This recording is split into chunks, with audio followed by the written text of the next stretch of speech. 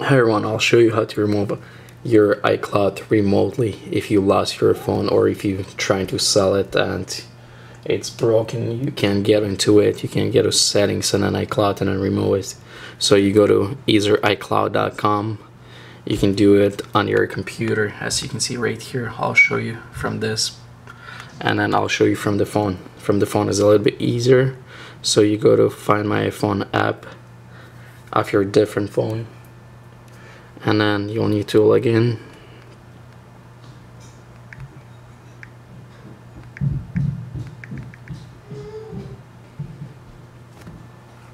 Okay once you log in you'll see what device is still attached here.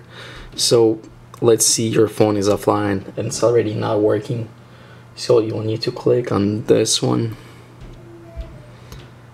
and then in this corner you just click remove and then it'll remove device completely from your iCloud. It won't be attached anymore